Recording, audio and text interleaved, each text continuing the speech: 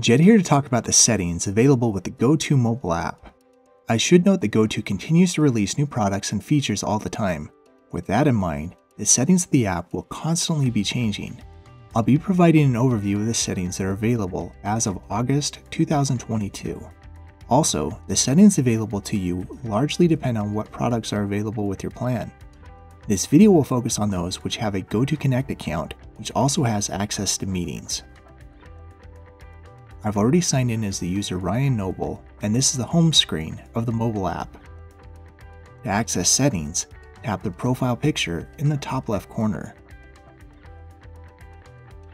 This is the main settings screen. Some of what you see here is for informational purposes only, like what active extension is being used, and those cannot be changed from this screen. Here are the settings for silencing your device or enabling Do Not Disturb. Please be aware that when you activate a setting here, it will also be enabled for your GoTo desktop app. Tap here if you want to sync your Microsoft 365 or Google Calendar with GoTo. Doing so will allow the app to notify you of upcoming meetings with a valid GoTo address in the details. Tap the phone option here are the settings that relate to using the GoTo device as your business phone. Many of these settings are self-explanatory, but let me draw attention to a few of them. Find Me Follow Me allows you to set up a call flow for when someone dials your extension.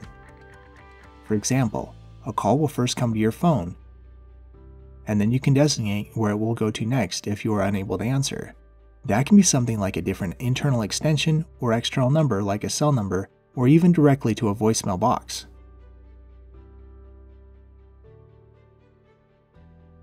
From the block numbers section, you can add numbers that you do not want to ring through to your phone and provide details about them. You can later remove the block if needed.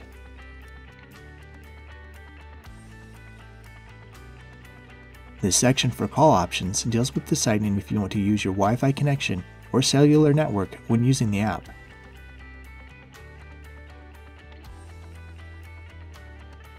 If your system administrator has set up instant response option for you, you can automatically send a text message to missed calls from first-time callers.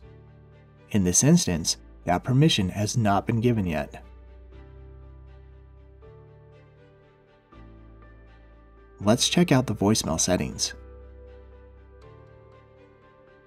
Here's where you can record your voicemail greeting. And as you can see here, there are three different types.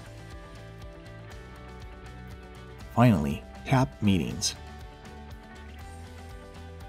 From here you can change your display name if needed, and set up session reminders.